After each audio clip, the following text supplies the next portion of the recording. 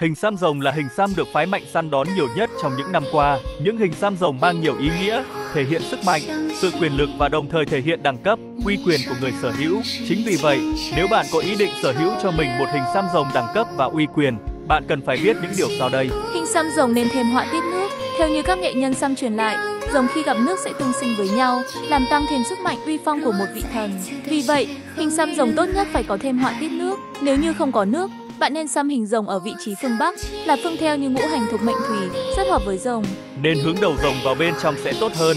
Theo như phong thủy, đầu rồng nên hướng vào bên trong, không nên hướng ra ngoài, bởi vì hướng ra ngoài được xem như là triều bái, sẽ là không tốt và sẽ không gặp nhiều may mắn. Hình xăm rồng trên lưng, lưng là bộ phận độc đáo nhất của cơ thể, vừa kín đáo vừa phô trương. Người xăm hình rồng trên lưng không chỉ thể hiện sức mạnh uy quyền, sự phô trương sức mạnh ấy mà còn thể hiện sự khiêm tốn của một trí nhân quân tử. Hình xăm rồng hợp với tuổi nào? Theo như phong thủy tam hợp tứ hành xung, những người có tuổi dậu, tý, thân thường có hình xăm rồng để tương sinh và gặp nhiều may mắn, được rồng phù trợ đắc lực.